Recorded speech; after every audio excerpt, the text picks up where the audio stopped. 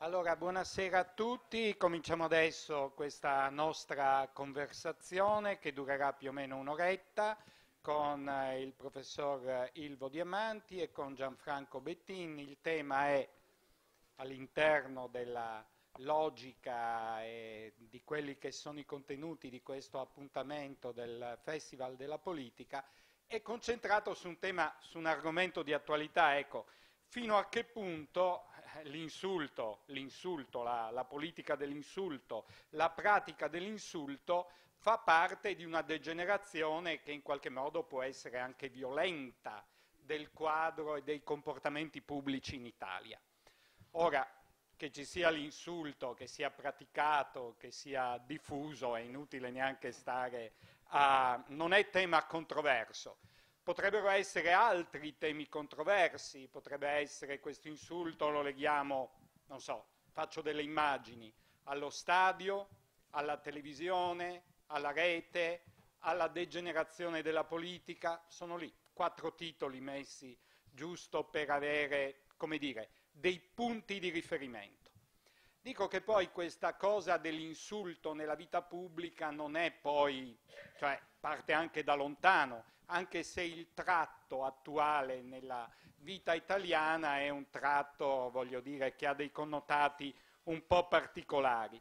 Il parte da lontano, ad esempio, c'è un eh, letterato intellettuale cinese nel 1926 ha scritto un libro e pubblicato da Inaudi anche in Italia, La nobile arte dell'insulto, Liang Shiqui, credo che si chiami così, però pronuncia, sulla pronuncia non do garanzie. E eh, chiaramente lui parlava, è un, è un tema anche alto, se vogliamo, come irridere l'avversario, come in qualche modo eh, farne emergere le contraddizioni, come metterlo in difficoltà ma quella era una nobile arte, quindi anche una pratica in qualche modo intellettuale. Qui da noi siamo a livelli decisamente, decisamente più bassi. E allora eh, dico che eh, su questo tema il professor Diamanti ha scritto eh, parecchie cose. Io mi sono un po' scaricato alcune cose che lui ha scritto, però c'è un, eh, un articolo in particolare, perché ce n'è anche uno dopo, però c'è un articolo in particolare, Lessico dei tempi feroci. Allora, siamo nel, correggimi se sbaglio Ilvo, siamo, no, lo leggo, al 30 marzo 2013. Allora, parla lessico dei tempi feroci. Quindi viviamo tempi feroci, professore? Beh, tanto grazie. Non so se siete tutti qua, perché siete tantissimi visto il tempo, per farvi insultare oppure per apprendere qualcosa. Ah, certamente, ma era uno dei segreti del successo di Villaggio. Oppure per apprendere nuovi insulti. Eh, io, io, so che ormai ne ho una collezione lunga, appunto tu lo dici. Ricevuti.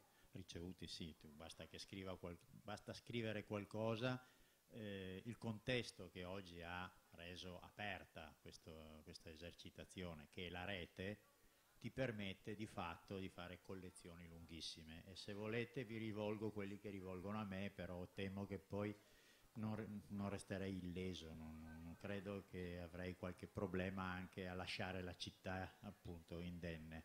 Però siamo in tempi feroci, evidentemente eh,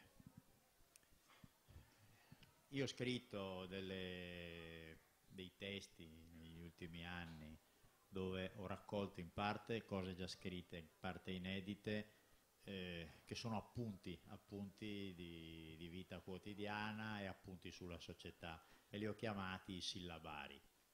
E sono i miei sillabari, echeggiando figure molto più nobili di me, insomma, evidentemente, quindi per primo il mio concittadino attuale, Parise. ma anche Faggin, che era mio professore di filosofia, ha scritto sillabari. E allora il primo sillabario era dei tempi tristi. E allora tutti a chiedermi, ma sono tristi questi tempi? E io spiegare che per me, appunto, eh, la tristezza è un modo, è una chiave, un modo, una lente per guardare la realtà in modo tale da essere meno tristi non so cosa significhi davvero, però posso dirvi che a volte la tristezza è un buon amico, è una buona amica, ti aiuta se tu la coltivi in modo, in modo come dire, non, non estremo, senza farti travolgere. Successivamente ho scritto un altro testo, era un altro sillabario ed era il sillabario dei tempi strani. E francamente erano strani perché eh, dal mio punto di vista non prevedibili per me quando i tempi sono non prevedibili sono strani, quindi positivi. I tempi strani sono sempre buoni perché eh, se il futuro non è prevedibile vuol dire che tu lo puoi cambiare, capite? Cioè non è scritto. Il futuro non è mai scritto, però puoi immaginare che lo sia. Ma se non immagini che lo sia, perché uno dei modi di condizionare le persone è di spiegare loro che il loro futuro, il nostro futuro è già scritto. E quindi al massimo ti puoi nascondere, rassegnare, eh, puoi resistere. No, i tempi strani vuol dire, significano tempi nei quali tutto può cambiare. I tempi feroci a cui faccio riferimento eh, in questo, in questo testo, bussole. in questa bussola esattamente, hanno a che fare con lo stile, con il codice della comunicazione. A me eh, questo argomento, quello dell'insulto, insomma, eh, mi attira abbastanza perché eh, l'insulto c'è sempre stato, l'hai, detto, l'arte di insultare ad esempio di Schopenhauer, c'è un testo scritto da un mio sfortunato compagno di liceo, scritto, ricostruito da un filosofo importante, Franco Volpi, morto in modo assolutamente assurdo qualche anno fa. Ebbene, l'arte di insultare di Schopenhauer è una collezione, è una collezione eh, di insulti che però, capite, non, sono insulti da, da, da Schopenhauer,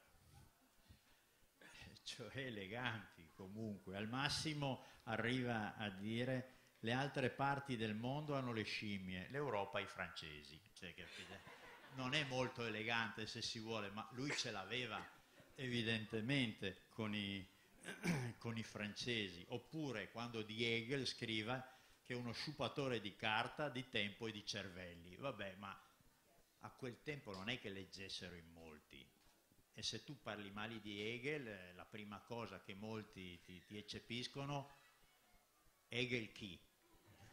Hegel chi? Ecco. L'insulto di cui parla il, filosofo cinese, eh, oppure a maggior ragione Schopenhauer, può essere un'arte perché è rivolto a una cerchia ben definita e delimitata e una cifra per comunicare all'interno di cerchie molto delimitate. E oltretutto non rimbalza all'esterno. Invece nei tempi feroci è la normalità, se non chiami, se non guardi uno e dici ma guarda che testa di, di, di, di Coccio. Di coccio, ecco, eh. questo qua dice ma cosa ho fatto? Perché non mi, non mi considerano, non mi guardano? Perché non sono valutato? Non sono valutato. E tu poi in questa bussola concludevi, così mi arrendo al clima e al linguaggio del tempo e per chiudere rilancio un elegante adagio, andate tutti a fare in culo, voi e la vostra politica del cazzo. Poi però subito dopo aggiungeva un appunto a margine dicendo che questo linguaggio mi dà fastidio. Quindi lo usi ma ti dà fastidio. Dovevo scriverlo. Perché? Perché sennò eh, perché nei tempi, tempi posso, perché sennò eh, uno si arrenderebbe pubblicamente ai tempi feroci. E peraltro io onestamente, ve lo dico anche chiaramente, l'unico nei confronti dei quali eh, utilizzo l'arte non dell'eloquio ma del turpiloquio sono me stesso. Cioè io mi tratto male quando io me ne dico di tutti i colori. Eh, e, e anche un effetto, direi, terapeutico notevole oggi. oggi. Però capite, eh, nel momento in cui me, le, me, ne dico di tutti i colori devo stare attento a non avere che non mi si, sia acceso il cellulare, l'iPhone.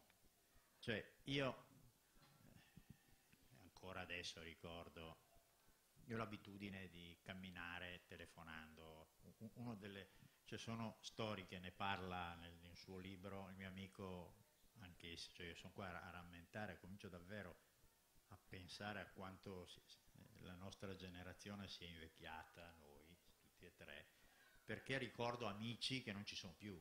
Cioè, uno dei miei più cari amici si chiamava Edmondo Berselli, qualcuno forse lo conosce, quindi, però eravamo veramente...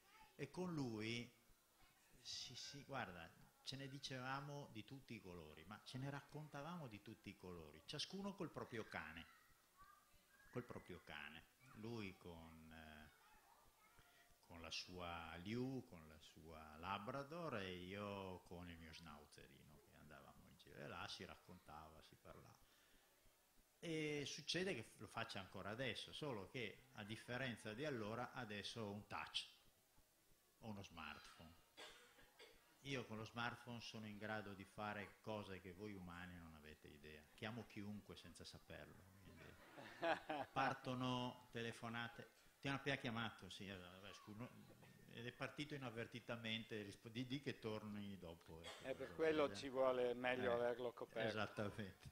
Allora, tempo fa, ma neanche tanto tempo fa, certo punto sento rivibrare, mi accorgo del mio cellulare ero fuori col mio cane a camminare, immaginando come sempre che nessuno mi conosca intorno a casa, poi magari un giorno se cammino senza cane trovo quello che mi guarda e mi dice ma ora dove sei il cane ancora? Andiamo via.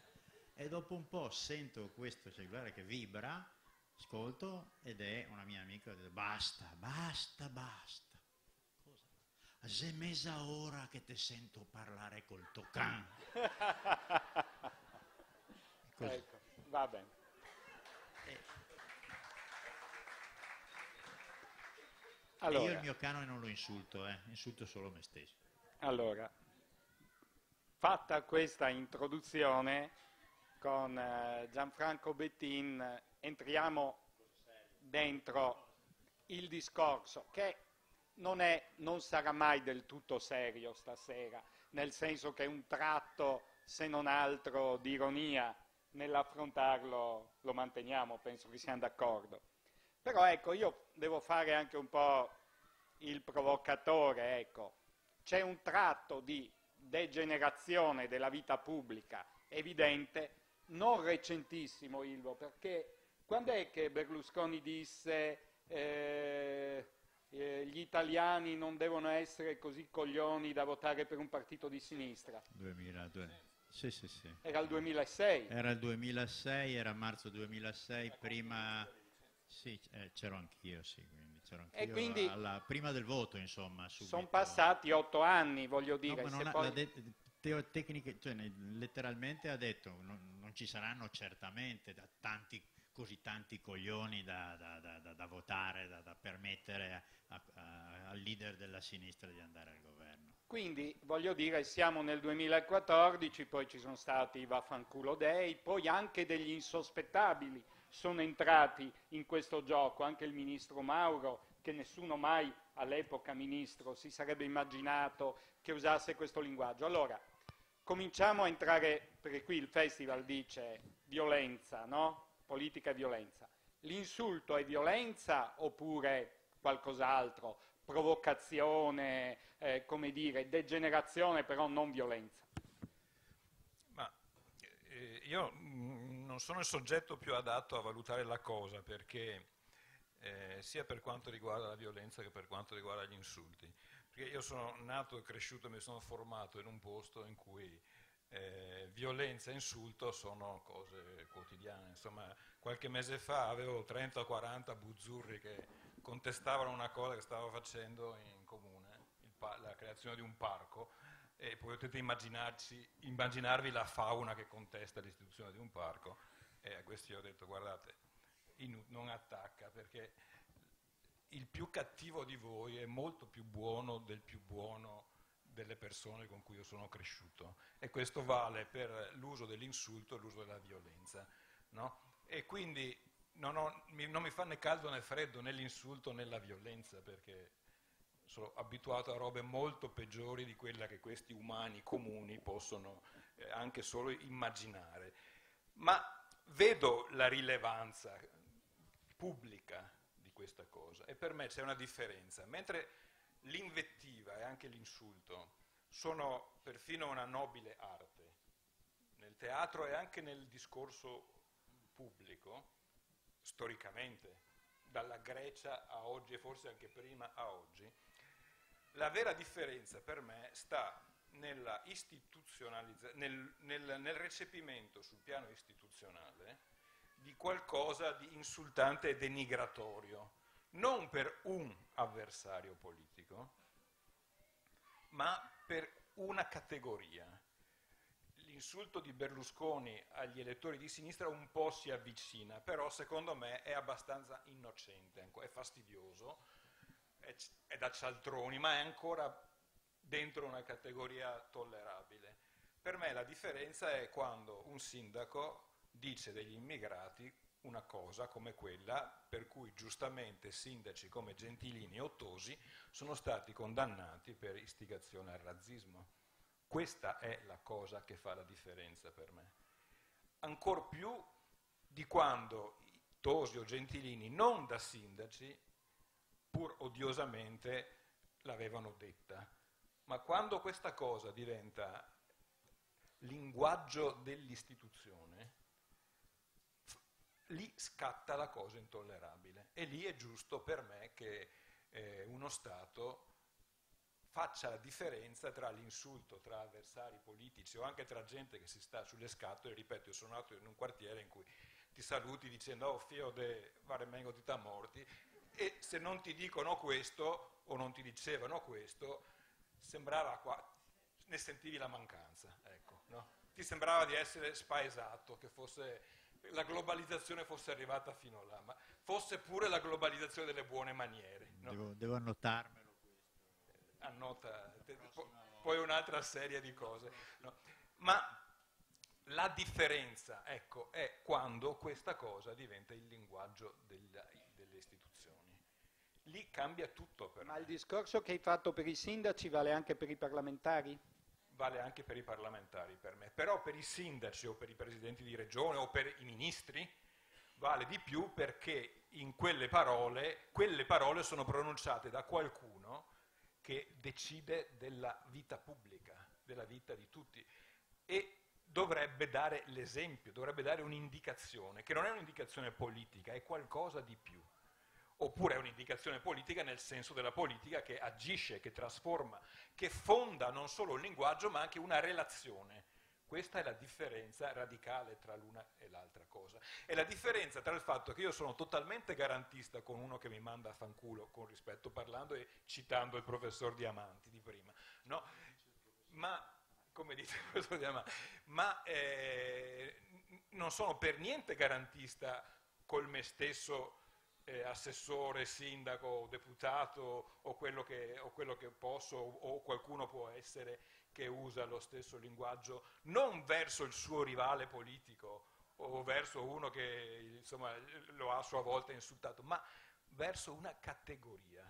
E questa cosa è, è la vera differenza intollerabile. Poi gli insulti eh, restano in, quel, in quella sfera che hanno un suo tratto di novità. Allora, Citavamo Paolo Villaggio prima, ma citiamo Peter Hand che insulti al pubblico, no? esordito così. Allora ti faccio una domanda, ma leggevo un saggio, una cosa che è stata scritta sulla Treccani a proposito di questo argomento e eh, l'autrice di questo pezzo iniziava eh, dicendo insulto dunque sono, cioè alcune persone anzi molti protagonisti della nostra vita pubblica insultano perché in realtà non hanno nient'altro da dire. È questo certo. che si percepisce. Sì, questo è, è una variante della sparo grossa così esisto. No? Oggi quel cialtroncello, quel fighetto liceale che non ha neanche finito gli studi del centro di Milano, che si spaccia per un bullo, che è Matteo Salvini, no? ha detto andremo a Roma coi bastoni, no? se Renzi mette, una, mette una, una, tassa. Tutti i siti dei giornali la sparano. La sparano. Mezz'ora dopo siccome è un fighetto sovrappeso liceale della Milano bene che si spaccia per un, te, per un, per un duro, no? ha detto no, ma parlavo di bastoni metaforici. No? Quindi mi becco la visibilità, ma poi per paura di conseguenze vere, no, mi paro il culo, come direbbe lui. No? eh, dicendo che era un bastone metaforico. Con questa storia, con i 300.000 armati della Val Brembana, di Bossi e, e così via, no? eh, si guadagna visibilità. Adesso quest'arma è un po' spuntata, appunto, no? anche se è con questo linguaggio, ne parlavamo anche prima, che Salvini posizionando che è un abile politico al netto delle cose che ho detto prima, insomma, no? eh, ha posizionato la Lega su un versante di destra pura, no? lepenista, eccetera, eh, e fa la voce grossa su quel versante là e, e gli sta portando fortuna, no? gli sta portando fortuna riempiendo un buco di destra a destra che, che, in Italia non sono riusciti a colmare formazioni tipo Forza Nuova, quelle che volevano un po' scimmiottare Alba Dorata ma non ce l'hanno fatta. No? Lui ce la sta facendo su quel versante lì. L'insulto è una variante di, co- di sparate grosse o grossolane di questo tipo in politica ma anche nella realtà della vita quotidiana, nella microfisica delle relazioni. Guardate tutti quei leoni da tastiera che col mouse da, da casetta a fianco del lettino, col computerino, mandano insulti a tutto il mondo. No? Questa gente, io ne ho, ogni tanto ne ho incontrato qualcuno, no? e, e, basta dirgli, fargli bu, questi qua diventano dei mouse, dei topolini, non dei leoni da mouse. No?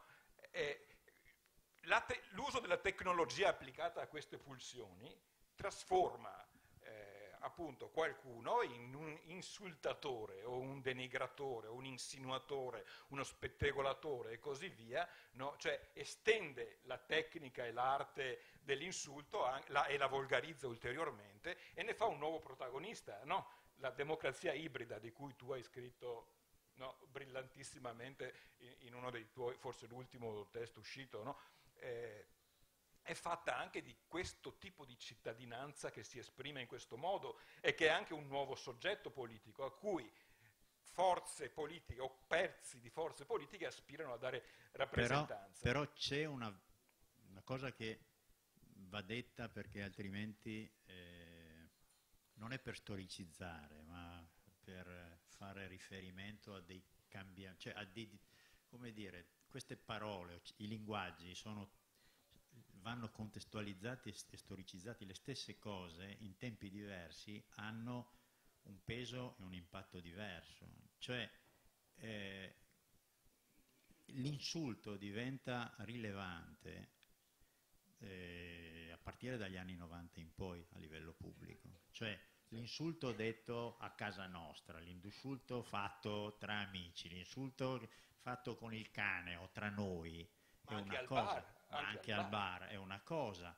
Il, anche l'insulto politico, cioè io ho visto, cioè, mh, ho chiesto a mio figlio che, di, docu- di, documentarmi sugli insulti, i miei figli mi hanno documentato in due modi, Beh, uno che è molto che studia questi fenomeni mi ha, mi ha passato il libro di Andreotti, Onorevole stia zitto, quello. e poi uno di, di, di Lucio D'Alessandro che era il, uno dei portavoce di Berlusconi, che era Berlusconi ti odio, e lì avete, ma se voi vi prendete quello di Andreotti, oddio, sono all'acqua di rose se, se vogliamo, non da tempi feroci, però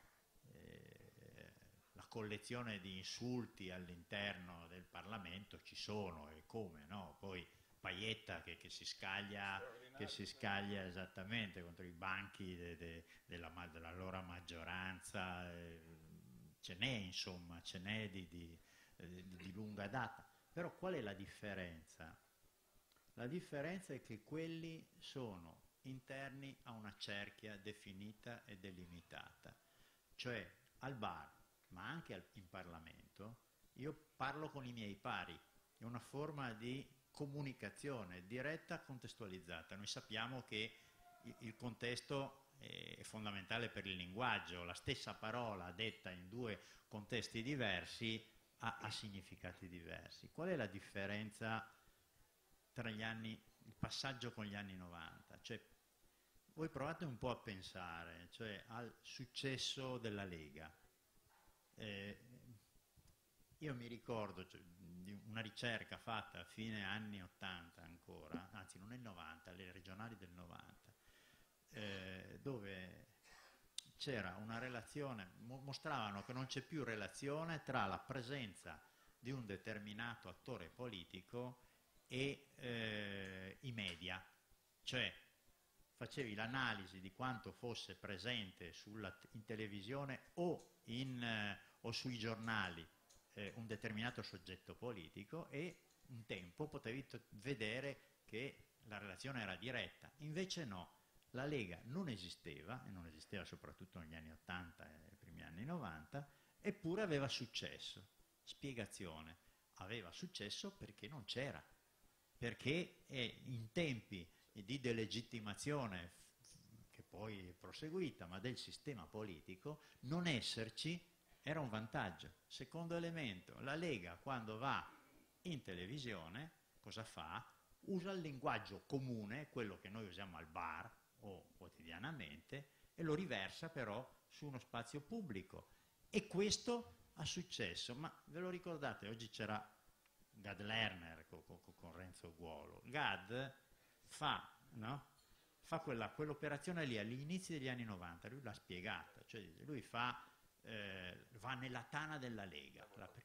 Eh? Ecco, lui lavoravano insieme. Ecco, loro due sono partiti da una premessa. Qual è questa premessa? Ma nascondere la Lega agli italiani. E eh beh, per quello che, che, che gli, ha successo per quello, perché mostrate agli italiani la Lega, provate a, far sentire loro cosa dice, cosa dicono e come sono e vedrete, ma questa l'ha esplicitata, sono andati in televisione, sono andati a fare nella tana della Lega un successo clamoroso della Lega e anche della televisione, cioè lanciare insulti e parlare esattamente in modo che oggi chiameremo volgarotto è, è stata fonte di grande successo di critica, di pubblico e di voto. Questa è la differenza. Sì, il problema però io lo vedo complicato, nel senso che da una parte c'è nel discorso che tu fai rispetto ai linguaggi paludati da Prima Repubblica o da intellettuali, discorsi di cui non si capisce niente, eh, complicati, incomprensibili, il linguaggio diretto, parlare la lingua del popolo. E questa è una questione. Però l'altra questione, riguardante un po' il nostro tempo, la comunicazione come dicevi tu prima, è il fatto di farsi notare facendo delle sparate, facendo delle provocazioni. Oggi si usa tantissimo il termine cross mediale, che poi che cosa vuol dire? Vuol dire che tu fai una sparata in televisione, poi te la riprendono i giornali, te la riprendono eh, i siti, eh, tutti ne parlano, tutti ne parlano e in qualche modo quel giorno tu occupi la scena e così prendi voti.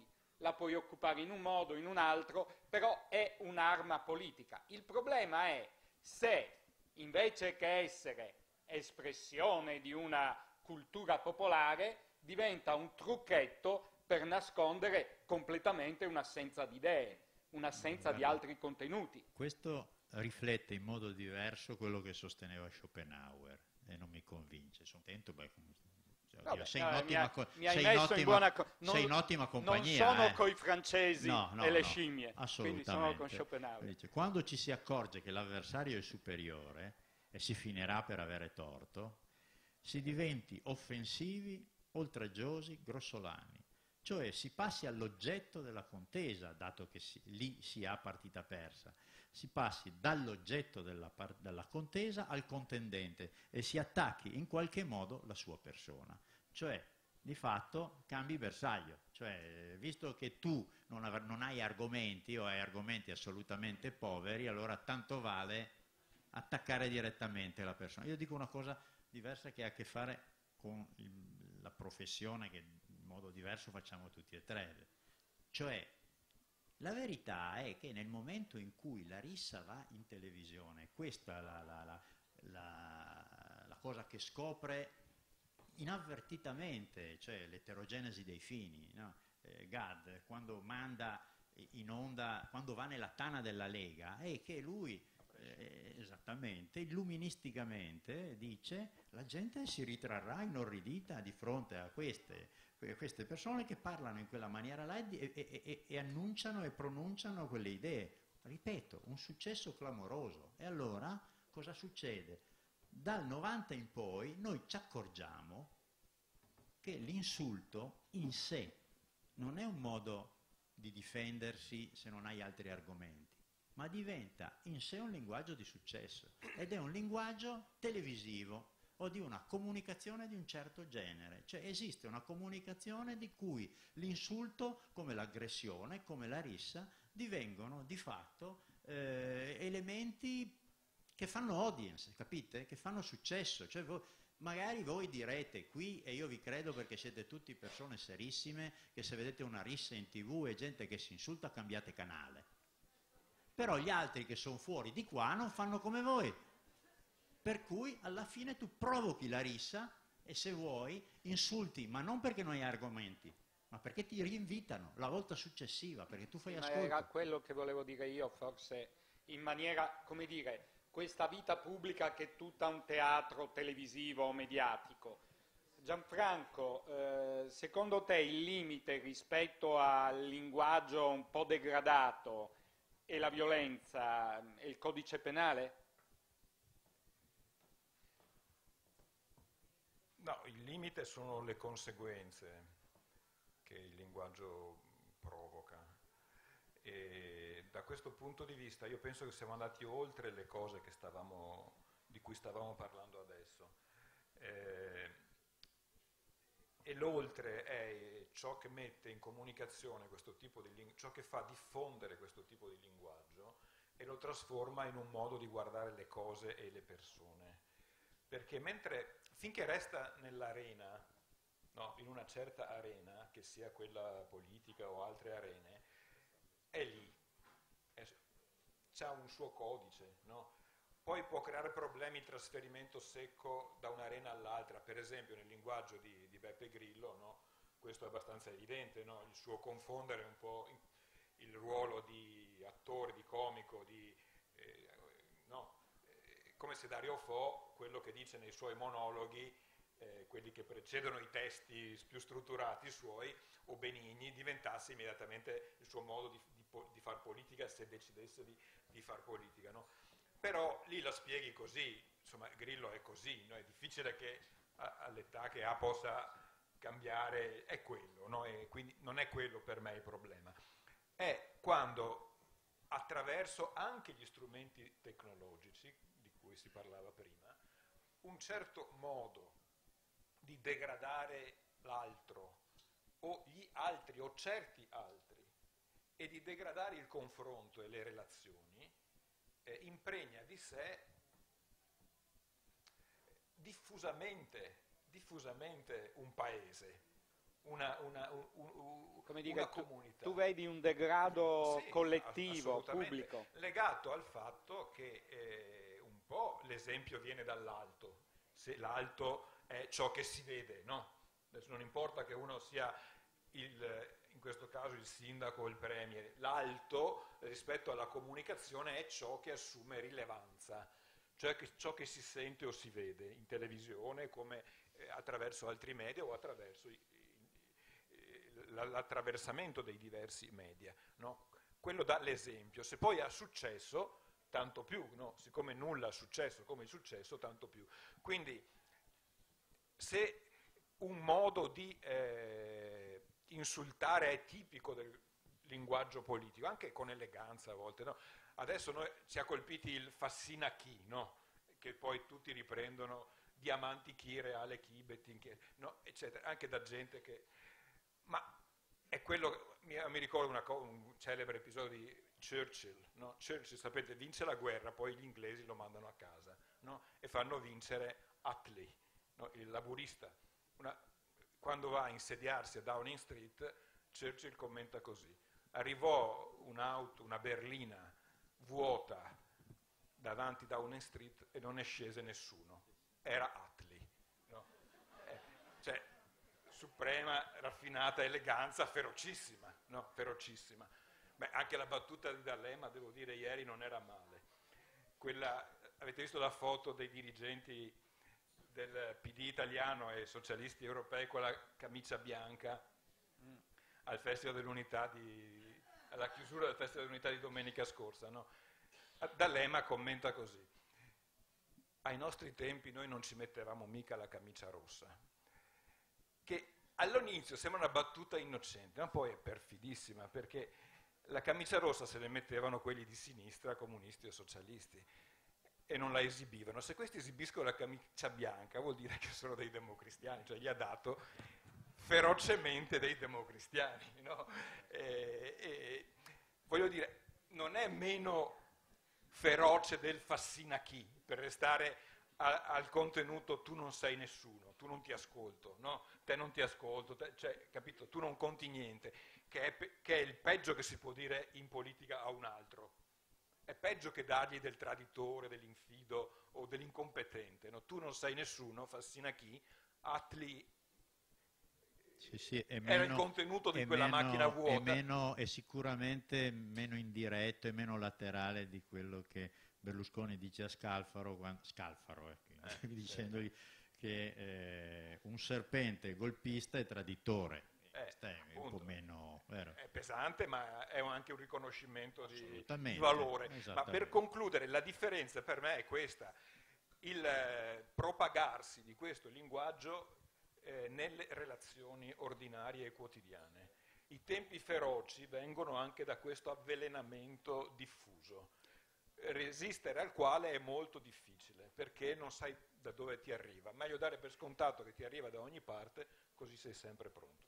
Io eh, volevo chiederti, Ilvo, questo, ma allora, i politici, chi fa politica negli ultimi tempi, voglio dire, anche soprattutto per colpa sua, quelli che sono stati coinvolti, non tutti, ma sono stati coinvolti in parecchi, è, è, è nel mirino dell'opinione pubblica, nel senso che c'è un grande distacco fra la gente e la politica usare questo linguaggio, perché noi dobbiamo sempre distinguere, perché uno dice, un conto è, come dire, il linguaggio popolare, il popolo che in qualche modo usa un linguaggio schietto e un conto sono i potenti che ne fanno uso, o comunque chi ha potere. Ecco, non può essere anche un trucco per dire noi non siamo la casta, ma siamo come voi il popolo. Sì, sì, assolutamente. Cioè, eh, sì, sì, beh, certo, la, la, la canottiera, la, usiamo... Tenete conto che eh, noi c'è insulto e insulto, l'abbiamo già detto, eh, quindi come avete visto abbiamo già eh, cominciato a tracciare una tipologia c'è l'insulto della vita quotidiana, c'è l'insulto pubblico, c'è l'insulto tra amici, c'è l'insulto nei confronti dei nemici. Eh, come dire, una cosa di cui penso parleremo sicuramente è eh, l'insulto in rete, l'insulto twittato, cioè io mi sono fatto raccogliere dai miei, cioè ma tenete conto, non da, dalla persona anonima, eh. ci sono eh, evidentemente i twittatori eh, autorevoli sono le figure pubbliche, perché eh, in questo caso sono riconoscibili e riconosciute, questa è la differenza che hai rispetto alla rete normalmente, perché eh, capite, eh, l'insulto in rete fatto con eh, un account, con un eh, alias, cioè con un nome falso, è facile. Eh, sono, almeno se io vi insulto mi vedete in faccia. Se io mi mando in un certo posto e voi mi rimandate due volte in quel posto. Sotto questo profilo Twitter, se tu hai appunto il tuo account è esplicito, cioè mi ha fatto vedere i miei, miei figlioli la, la, pagina di Gaspari che è una meraviglia, insomma, è una meraviglia. Cioè, è una meraviglia. Confermo. Cioè, mi, ha, mi, ha, spiegato, cioè, ho visto dopo la vittoria dell'Italia sull'Inghilterra dove ha definito eh, finalmente abbiamo quei, quegli inglesi bori, boriosi e coglioni, al che Menichini, già direttore di Europa, gli ha detto io sono di famiglia inglese e di te pensano che sei un avanzo di fogna e lui l'ha, l'ha querelato sempre via Twitter, capisci? Cioè, e l'altro l'ha contro, contro, io l'ho già fatto con te come tutti gli inglesi, cioè qua andiamo a... Allora, qual è la questione però? E mi pare che qui lo potremmo usare per dare una svolta cioè come tutti i generi, anche il genere eh, eh, del, dell'insulto pop, come lo ha chiamato Roberto Reale, cioè l'insulto come metodo di instaurare una complicità eh, tra chi sta di qua e al di là dello schermo, di qua e al di là della cerchia del potere, può produrre anche eh, effetti controintuitivi, cioè contrari all'intenzione. E allora cosa sta avvenendo? Cos'è avvenuto? Io eh, ogni anno faccio, conduco una, una, sorta di osservatorio sul rapporto tra gli italiani e l'informazione politica, no? per cui stimo non gli ascolti, perché non è il mio compito, ma la eh, fiducia nei confronti delle reti, dei, eh, dei programmi, dei conduttori, eh, delle trasmissioni. L'anno scorso cos'è successo? Per la prima volta, un anno fa, noi abbiamo assistito a una caduta verticale della considerazione, quindi della fiducia, nei confronti dei principali programmi di informazione e soprattutto di dibattito politico, tutti. Allora, tant'è vero che in un certo, lì sì sono arrivate le, eh, le richieste, telefonate di quelli che dicevano un anno fa, ma guarda, guarda che eh, tu mi hai messo tre punti, quattro, cinque, io, beh, il mio campione, di perdita di considerazione, ma io ho aumentato i miei ascolti e io tentavo di costruire questo tipo di percorso più o meno logico. Guarda, siamo in tempi in cui il rapporto tra gli italiani e la politica ha raggiunto livelli inenarrabili. Cioè, la fiducia dei partiti ormai non è più rilevabile con i sondaggi, perché nei sondaggi tu hai un errore statistico del 3%. Quindi nei confronti dei partiti eh, tu non puoi sapere se ormai il grado di fiducia sia espresso da qualcuno, perché ho il 3%, quindi potrebbe essere anche nessuno, capite? Cioè poi, perché per sbaglio hai beccato appunto Gasparri oppure o Renzi e ti dicono sì ho fiducia, perché ho fiducia in me stesso, ma gli altri ti dicono di no. Ma la cosa che mi preoccupa di più è la fiducia nelle istituzioni.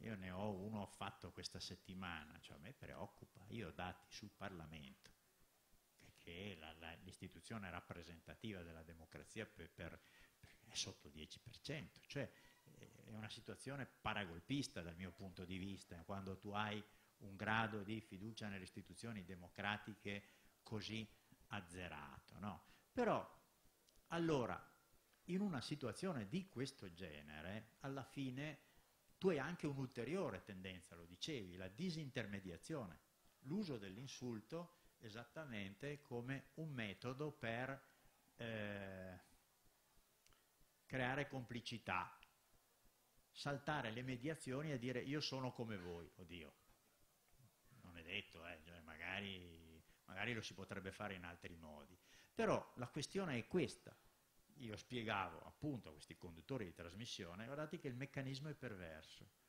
visto che c'è sfiducia nella politica e in chi fa politica, loro guardano la vostra trasmissione proprio perché è l'arena nella quale, è la gogna nella quale tu puoi insultare i politici. Mi ricordo un spettacolo di un tempo in cui eh, anni fa cioè, Berlusconi si oppose alla presenza di Benigni eh, a, a, Sanremo. Eh, perché è un comunista, per tutte, perché avrebbe fatto i suoi soliti monologhi contro. E allora e, e, poi c'è la ripresa di Berlusconi con i suoi amici che davanti alla televisione quando arriva lui gli gettano eh, ah, Ferrara, era Ferrara, scusate, Ferrara, gli gettano, gli lanciano le, le uova marce e altro. Ecco, il meccanismo è quello. Io guardo le trasmissioni politiche perché così gli sputo, cioè ho il problema poi di pulire lo schermo, però ogni volta che mi capita qualcuno, ciù, ciù, via. Alla fine però cosa succede? Lascia succede che il meccanismo si ritorce su di te. Perché? Perché tu che gestisci quelle trasmissioni non diventi diverso da loro, diventi come loro. Per cui vieni, vieni come dire, investito da un'onda di delegittimazione pari, in questo caso, a que- cioè chi guida l'arena e l'arena stessa viene delegittimata anche perché in un'epoca come la nostra, appunto mediatica così, chiunque eh, studi questi fenomeni sa che dopo un po' alcune cose si consumano e quindi si consuma anche l'attrazione che queste risse, che questa, questo modo anche di potersi sfogare sputando sul televisore provoca. Eh, non a caso le stesse trasmissioni, non dico l'ultimo anno qua c'è un calo abbastanza pesante, eh, sia delle sì, reti sia delle...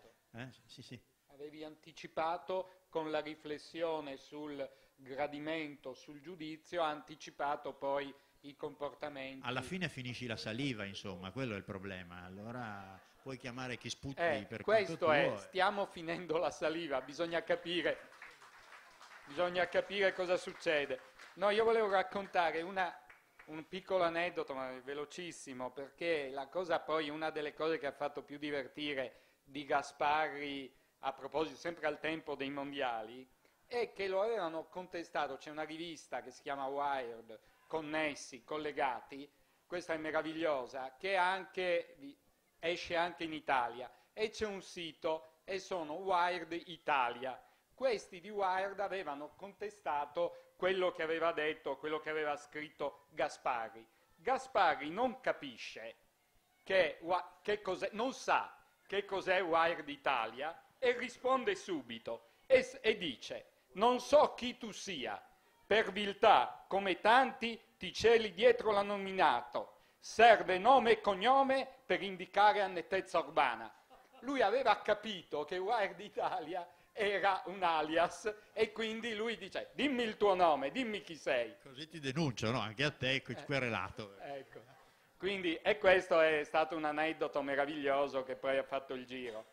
Senti, appunto, andando verso, come dire, un possibile esito, abbiamo appunto citato la rete, poi torneremo, parleremo anche di frontiere, anche perché alcuni fenomeni continueranno a esserci. Sì, ma, ma non fra troppo tempo perché sennò fuggono già adesso. No, vabbè, quindi... finché noi credo che abbiamo ancora un quarto d'ora, quindi ce lo amministriamo al meglio. Il, mh, mm, una delle possibili cose potrebbe essere questa che, vabbè, condivido totalmente quello che hai detto prima sul degrado della vita pubblica, che è una cosa che ci degrada tutti, però uno ti potrebbe anche fare l'obiezione i 300.000 della Val Brembana potevano essere anche un modo per esorcizzare il problema, in fin dei conti di fucili non se ne sono visti in Italia. Siamo un paese di gente che abbaia, ma alla fine non succede niente.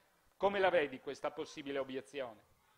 No, è vero che a volte il linguaggio sublima e quindi brucia una cosa che non detta potrebbe produrre effetti diversi. In realtà all'epoca di Profondo Nord di Milano Italia con Gad Lerner ragionavamo così. Non è tanto mostriamo quanto sono brutti questi o quelli e quindi li azzeriamo, no, mostriamo un paese magmatico poco raccontato, andiamo a frugare nel profondo, in quel caso del nord, no? e, e, e, e, lo mostriamo, così anche è così arrabbiato, anche perché non riesce a farsi ascoltare, non riesce a parlare, no? non riesce a vedersi, può specchiarsi, valutarsi e far sentire la propria voce. Era un, discor- era un discorso un po' più articolato, c'era anche quella componente là. Per cui è vero che a volte evocare una cosa può servire paradossalmente a, a spegnerla, no? Però è un gioco molto rischioso, perché il linguaggio non è vero che le parole non hanno mai ucciso nessuno, no?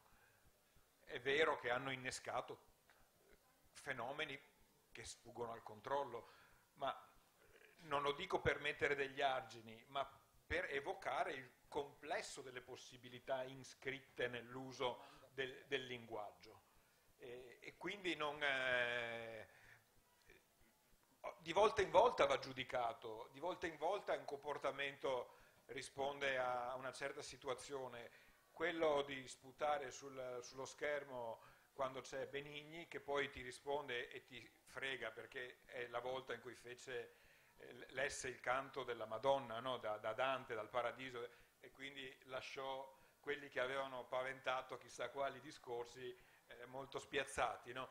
Eh, ma que, que, quello sputare lì è un conto. Ieri sera, proprio ieri sera, commentando a margine il racconto di Quirico, l'inviato della stampa, sugli orrori di, di, insomma, delle situazioni che ha raccontato, di cui è stato anche ostaggio per un mese e mezzo, eccetera. No?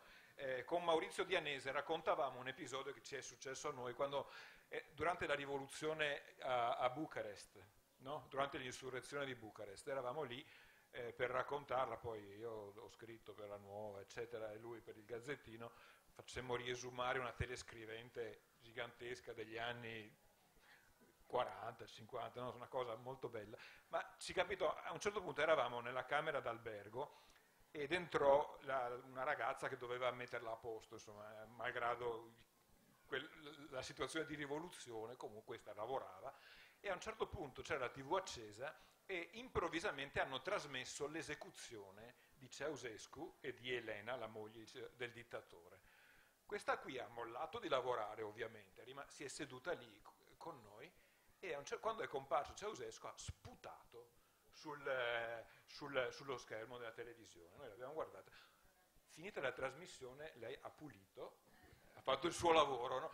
ci ha colpita, colpito tutte e due le cose, ma capisci che lì quello sputo è, c'è la storia, mentre nello sputo di altri c'è il pettegolezzo, la cronaca, c'è lo scherno. No? Sono due cose diverse, quindi la situazione spiega anche il gesto, no? spiega di che cosa parla davvero. Per me certi insulti di oggi parlano di un degrado generalizzato, no? che alla fine è del tutto indifferente al fatto che qualcuno gli insulti se li meriti. La, la, la classe politica si merita valanghe di insulti, lo so benissimo e così la classe dirigente in generale che è più larga della classe politica. Vogliamo parlare dei banchieri? Per dirne. Di Montezemolo. Dei banchieri in generale, no? Cioè, voglio dire, potremmo parlare anche dei giornalisti, potremmo parlare di, di, di, degli intellettuali, della loro viltà, della loro complicità, della loro corrività, no? Cioè, si può fare un ampio elenco di, cose, di gente che si merita gli insulti, ma secondo me la deriva che ha assunto il linguaggio pubblico e l'insulto oggi prescinde da questo. Questo lo ha incentivato, ma poi non, non, non si riesce a gestirlo e, e, questo incide sulla qualità anche delle relazioni quotidiane.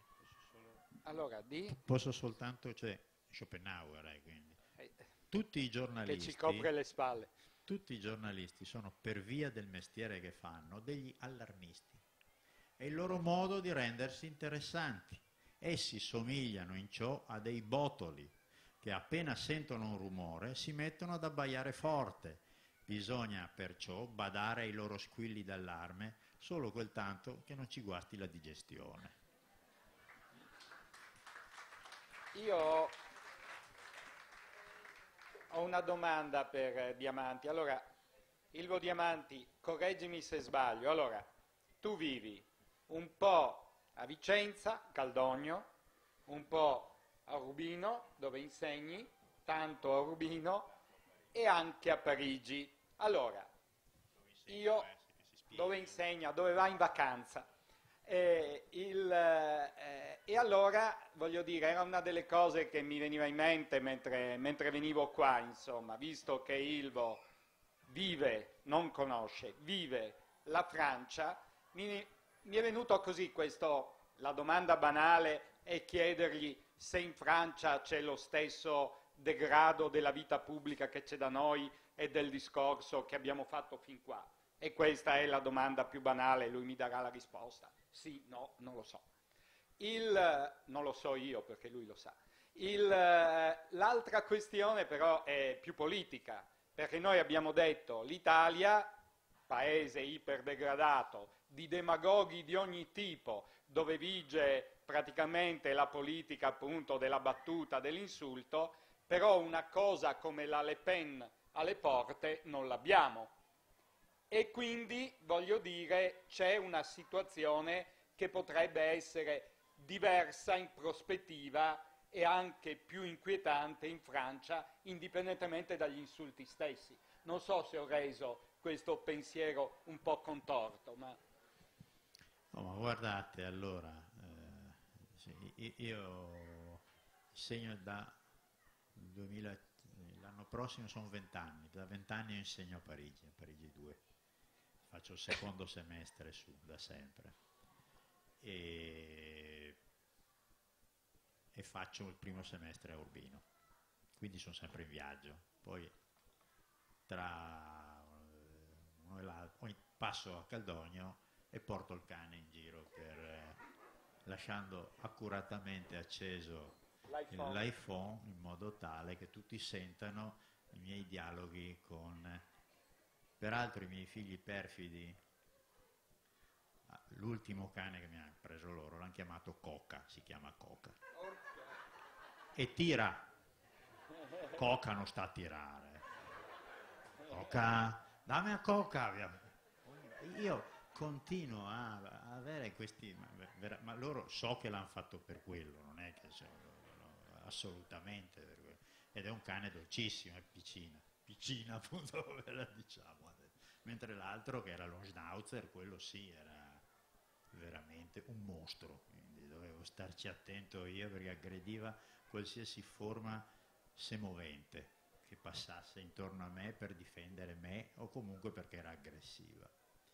Vabbè, girando molto, cioè soprattutto andando a Parigi, la cosa di cui mi accorgo maggiormente è che, eh, come dire, allora, precisiamo, il, la fiducia nelle istituzioni e ormai nella classe politica e nei partiti e nel Presidente della Repubblica in Francia è peggio di quella in Italia, sia chiaro. Eh. Oggi l'indice di gradimento di Hollande, il presidente francese François Hollande, è, è più basso di lui che non è neanche bassissimo, eh, però è, neanche, è, molto basso, dai, molto basso.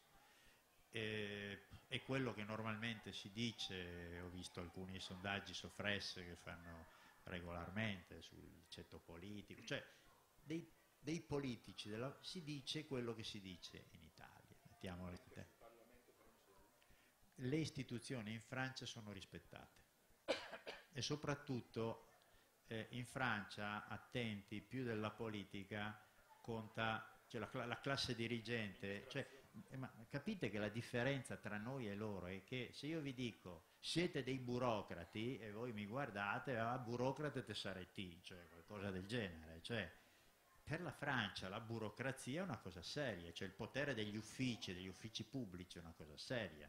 Le scuole in cui si formano i, eh, i burocrati sono le, le, le, scuole di alti studi, sono norm- tenete conto che una cosa di, eh, in Italia si è molto ironizzato sul fatto che la, eh, quando fece la sua campagna elettorale eh, Hollande 2012 sì, eh, lo slogan era le président normal. Il presidente normale. E tutti lo opponevano a Sarkozy, al suo, che invece lui sì era uno che se la tirava, mettiamola in questi termini, aveva Carlita vicino, la, la sua... La, la, uno, la cosa che però non si capiva in Italia è l'ambiguità.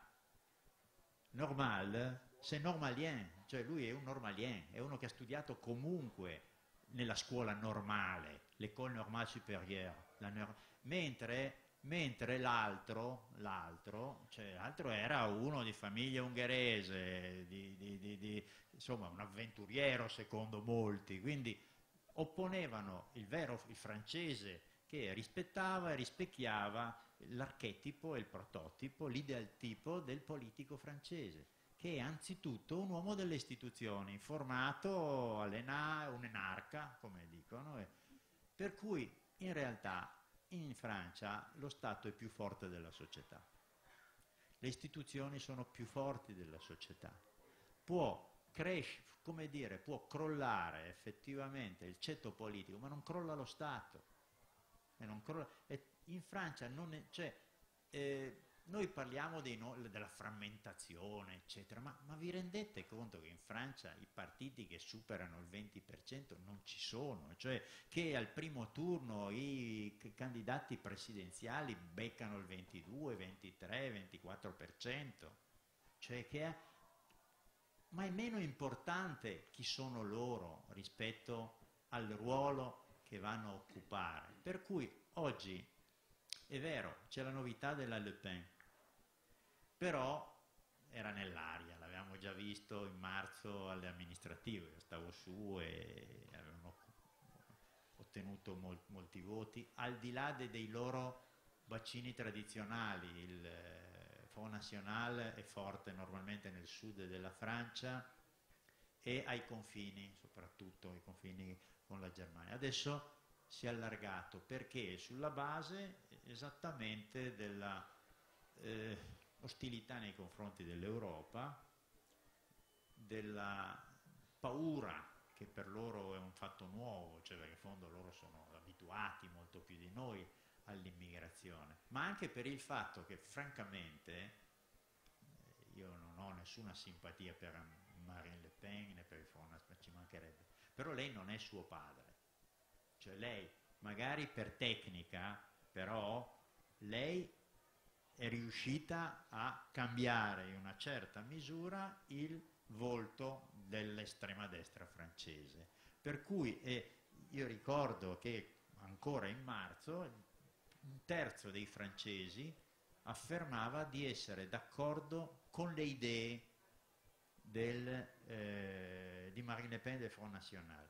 Infine, proprio per chiariamoci, eh, in Francia delle elezioni europee, non gliene frega, adesso non uso una parolaccia, insomma, quasi a nessuno, vota il 40% o poco più, de, anche da noi votano in poco, ma per, per loro il Parlamento europeo, sì, gliel'ha messa a Strasburgo per fargli un piacere, ma sanno anche che il Parlamento europeo non conta una mazza, che poi l'Europa è questa strana bestia che elegge un Parlamento, ma poi il Consiglio d'Europa è fatto dai governi e sono quelli che, che nominano il Presidente. Quindi ai francesi di sta cosa qua non hanno ancora paura, a loro non fa paura la Le Pen e tutto sommato non è un caso che faccia più paura a noi che a loro.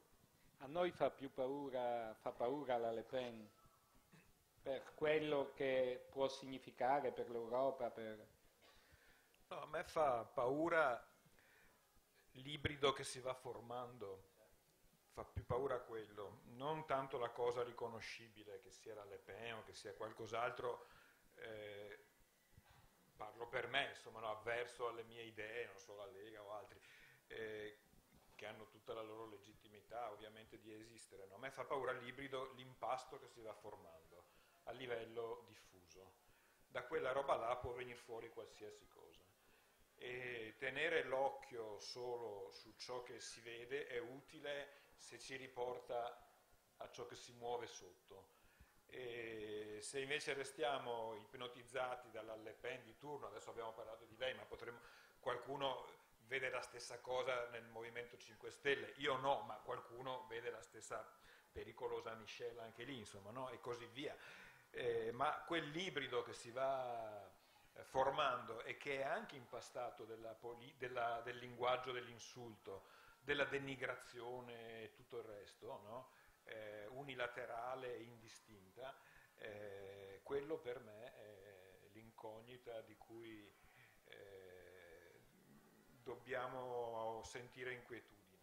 Ecco, allora siamo un po' in conclusione, abbiamo fatto dei riferimenti alla rete, a internet, abbiamo in qualche modo definito le responsabilità dei giornalisti, della televisione, quindi de, del sistema comunicativo.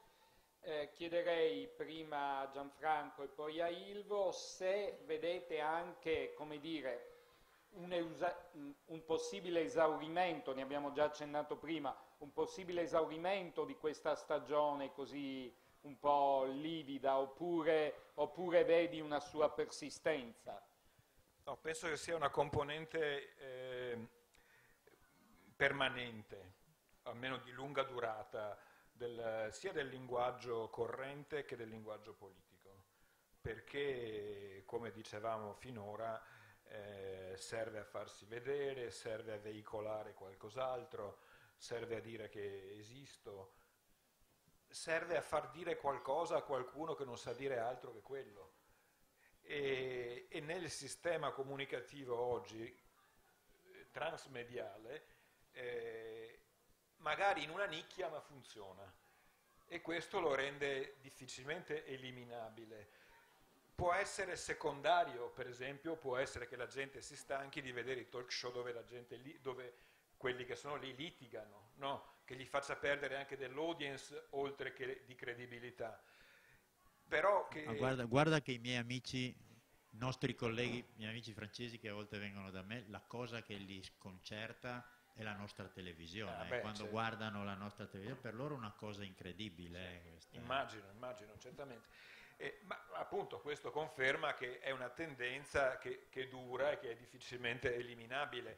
Ci si può difendere, bisogna introdurre anticorpi, sviluppare buona televisione, buon giornalismo, buon linguaggio politico, eh, buone occasioni tipo queste in cui si discute, sapendo che per quanta gente, prima c'era una marea di gente che ascoltava tre signori molto educati, molto, sì anche sotto l'acqua, eccetera. No? Eh, un dibattito straordinario che è cominciato dicendo eh, da parte sia di Cacciari che di Ezio Mauro, vediamo se è possibile ragionare di politica, no? sottolineando il ragionare di, di politica. E, però anche nelle occasioni di più grande successo, come questa è una di quelle, raggiungi sempre una quota ridotta, no? occorre che si inneschi una catena che rende starei per dire fuori moda, se già questo non fosse una concessione al fatto che bisogna essere di moda per, eh, per essere rilevanti, no? ma che,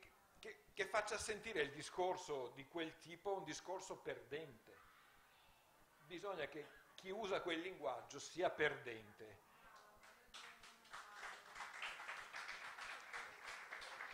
Questo è difficile, però bisogna provarci, magari queste occasioni servono a eh Sì, eh, comunque c'è anche un esaurimento, cioè appunto, ripeto, in un tempo come questo nel quale... Bisogna che vadano nei talk show delle più fetide tv, TV locali, ecco, bisogna vederli là e non passare da lì a Ballarò, a quello che è, perché sono bravi a insultare, che succede il contrario. Ho capito, va bene. E io stavo appunto ragionando invece sul fatto che appunto viviamo un'epoca nella quale si consumano anche le mode, anche gli atteggiamenti, anche delle tecniche, anche dei modi. Certo, è anche vero che un paese questa fotografia un po' livorosa coincide anche con un paese pieno di problemi e quindi voglio dire magari l'esaurimento di questa stagione coinciderà, speriamo, in positivo con una, anche una possibile ripresa e un possibile uscire da, da, questi vicoli ciechi nei quali ci troviamo. Tu come la vedi? Scusi, solo, solo, una cosa, no, per evitare un equivoco da un secondo. Eh, questo che dicevo adesso non ha nulla a che fare con eh, l'insulto, la rabbia, il, il, dolore che si sente nelle parole di chi non ne può più. Eh. Cioè quella cosa che somiglia allo sputo della ragazza cameriera eh, romena di fronte all'esecuzione di Ceausescu. Cioè io non confondo l'insulto di Salvini o mio o, nostro, come dire, con quello delle persone che non ce la fanno più e che parlano così perché hanno dentro quella cosa là ed è colpa di chi gliel'ha messa dentro, non di loro che la esprimono così. No? Cioè, vorrei differenziare no, era, per evitare l'equivoco. Ma era chiaro fin dall'inizio, il problema era quello di capire se quel tipo di eh, linguaggio appunto dall'alto verso il basso, quindi non espressione del basso, impattando in un paese che soffre può trovare più udienza, più efficacia che non in un paese che è un pochino più sereno. Ecco, questo era il cuore di un ragionamento possibile. Non è che tu mi dica stai sereno, Ilvo, vero? Qualcuno te lo dice però. Sì, e mi preoccupo sempre. Io... Ti preoccupi anche sì, di questo. Sì, Perché poi c'è un, eh, c'è un convitato di pietra in tutto questo, che è il discorso, ce ne sono diversi, però noi adesso abbiamo finito, non vi preoccupate, perché Grillo è entrato e non è entrato, però ha organizzato io a Fanculo Dei, che insomma voglio dire sarebbero anche dei punti di riferimento per una discussione come la nostra. E poi c'è anche il battutismo senza insulti di chi magari guida la, il paese ma è molto bravo nel, nel fare molte battute, ecco.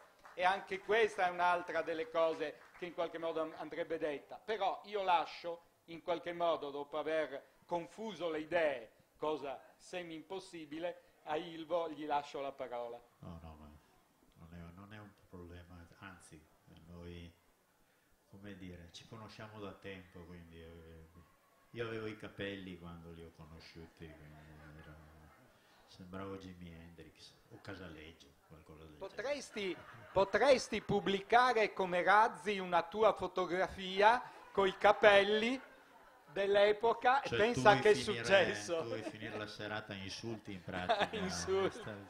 Razzi, peraltro, sai bene che anche le rime non contano in questi casi. Eh, e mi, e mi, limito a quelle per rispetto nei confronti di questo pubblico.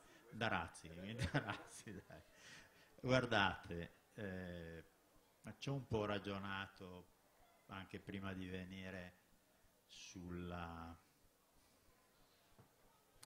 sul modo, su come, non dico concludere, ma eh, ricavare da una discussione come questa anche un, qualche ragionamento di prospettiva io mi sentirei anzitutto di fare un'avvertenza, no? cioè eh, la prima avvertenza è che dobbiamo stare attenti, eh, dobbiamo fare attenzione a non eh, no, demonizzare non è un bel termine, però vabbè, a non eh, demonizzare la cultura e la comunicazione di massa capite? E i media di massa, perché è abbastanza evidente che quello che succede tra gli anni 80 e 90 non è che prima non ci fossero i media di massa, ma è dagli anni 90 che i media di massa diventano lo spazio della politica. Prima c'erano le sezioni, prima c'erano le piazze, prima c'erano le strade, lì puoi anche dirtele. Eh, ai tempi della battaglia, delle battaglie politiche, insomma, si è ammazzato, ci, ci sono, insomma, sappiamo benissimo, questo è una, un territorio su quando si parla della violenza politica, insomma, c'è purtroppo una storia dolorosa anche qui intorno. Eh, per cui alla fine uno dice se l'insulto e la violenza verbale è un surrogato della violenza diretta, meglio la violenza verbale, va bene. Però, ciò detto, il salto in politica è nel passaggio, eh, è, è negli anni 90, è quando la politica si sposta dalle piazze, dalla società, dal territorio alla televisione, ai media e poi alla rete. Ma non possiamo, no, ma capite perché? Perché eh, lì le logiche della politica, eh, parlo con dei professionisti che lo sanno, non sono più autonome. Cioè l'audience diventa un indice del tuo successo politico, però allo stesso tempo l'audience è anche un indice di successo mediatico. C'è una trasmissione che fa audience, eh beh, la rifanno. Alcune trasmissioni che hanno cambiato adesso conduttori o altro, è anche perché hanno perso milioni di, di spettatori nell'arco di un anno, perché l'audience definisce esattamente qual è la battaglia dei, su, intorno all'audit, è perché per fa, ogni fascia ha un valore dal punto di vista de, de, de, della pubblicità, che è quella con cui davvero ti paghi le trasmissioni. Eh, se tu fai un indice alto, hai un valore alto della tua fascia oraria, oppure no. Per cui il problema, te lo faccio in altri termini, cioè quanto vale l'insulto? La risposta che ha dato Gianfranco è dobbiamo far sì che l'insulto o la volgarità eh, non vengano premiati politicamente, ma e anzitutto, perché è più o meno la stessa cosa, mediaticamente. E questo potrebbe essere, dovrebbe essere un buon segnale, cioè il buon segnale può essere non tanto cioè, non è facilissimo da spiegare, ma spero di riuscirci. Cioè, io non voglio essere quello che dice la politica era, che bella che era la politica, come la pensiamo in molti, quelli della mia generazione, quando non era eh, una, in televisione, quando era fatta sul territorio. Io dico non dovrebbe smettere di essere fatta sul territorio e nella società e in televisione, anche in televisione. La rete. Eh, è evidente che la rete alimenta.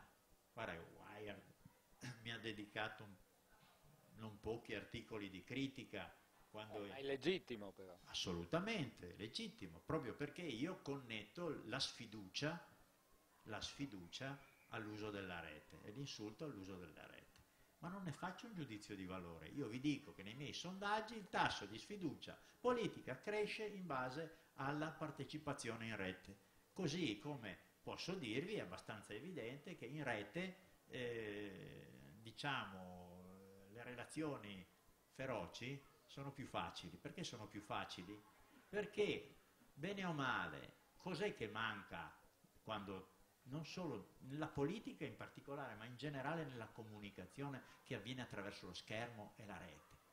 Manca quello che c'è stasera, voi non avete le persone vicine, lo capite?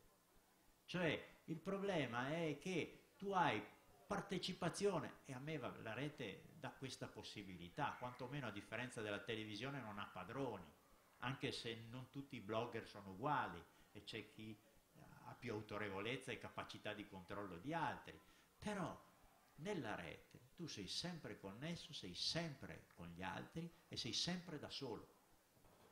E tu ti puoi connettere, come avete detto, quando sei a letto, quando sei a casa, qua, mentre parli, e ti tic, e ti tocca, porca...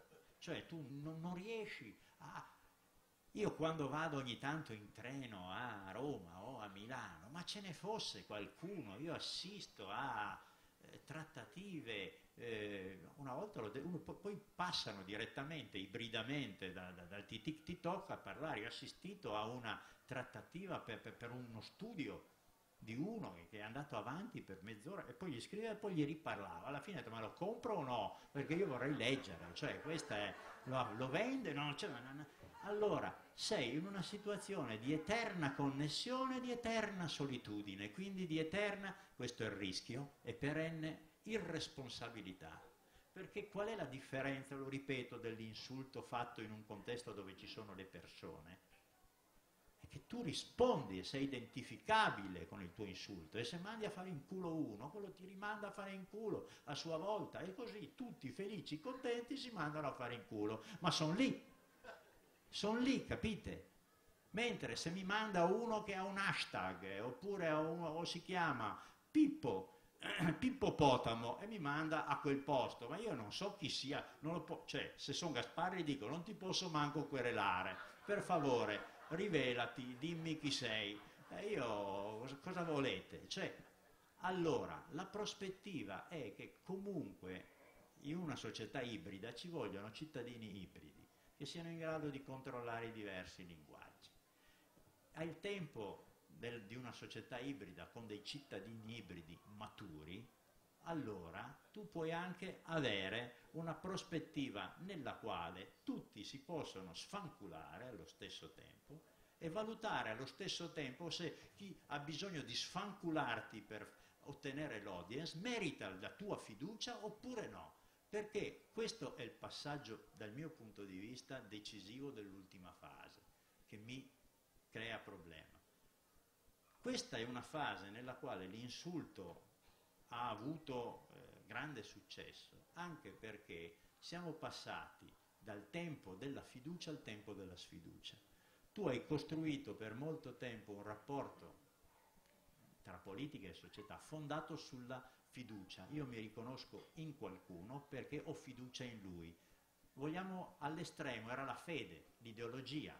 Condividiamo una stessa fede. Guardate che questo non è necessariamente un bene.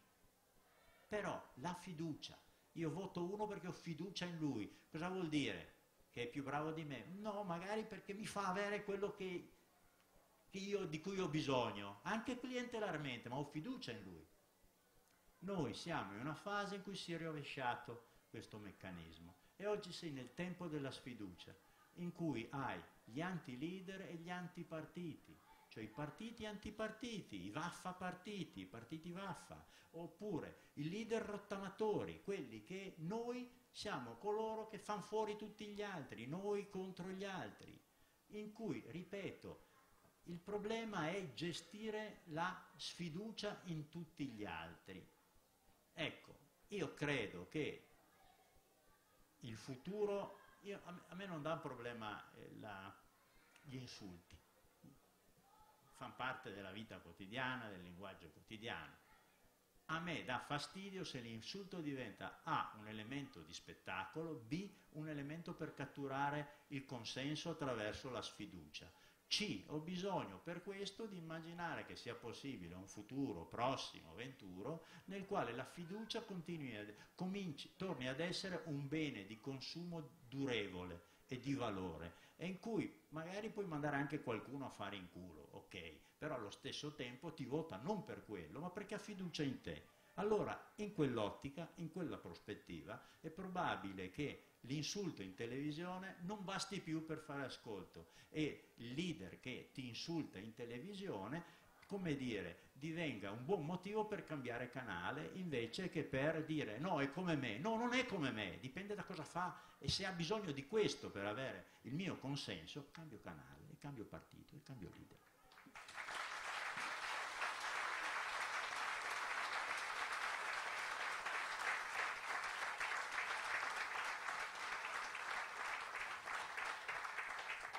Io con, con, la fiducia che la parola ibrido non sia un insulto né, né per voi né per noi, ringrazio Ilvo, ringrazio Gianfranco e soprattutto voi che ci avete ascoltato fino adesso.